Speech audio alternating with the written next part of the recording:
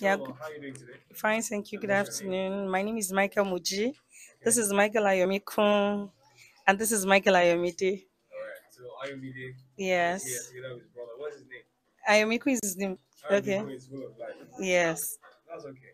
So uh, this is your first time at the clinic. Mm-hmm. My first And, time. um, your sons, you know their diagnosis? Yeah, both of them are sickle cell anemia patients. Okay.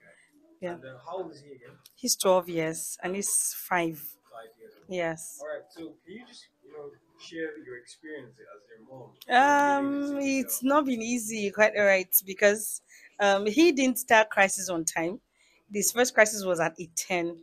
It's like life threatening. He's one started as early as two months. So it's been like in and out of hospital. We sleep normally in the night, and the next morning we're on admission. He's been transfused like two times. He's never been transfused.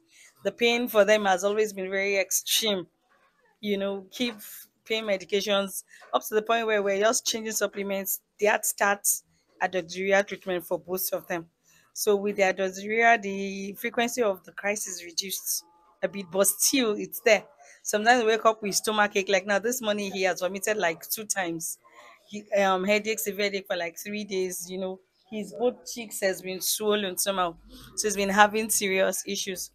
So plenty things, Sha. It's been challenging, but at least we're taking it gradually, one day at a time, and so far. Your first time at the clinic. uh, Yeah, this is my you- Who referred you? Um, my Junama Sickle Cell Foundation. Yeah, posted on the platform that there was going to be a free clinic here today, so we came in around ten o'clock and waited out. too. It's okay. Yeah. So we're glad that you're here. We hope that by your next visit, uh, you had significant improvement. Yeah, yeah, yeah, yeah. And I'm so very grateful for the supplements we're able to get. The doctors gave us zinc, especially for him because he's not feeling too well. And both of them have the vitamin D and the immune booster. We're so very grateful, hoping for a better result with this.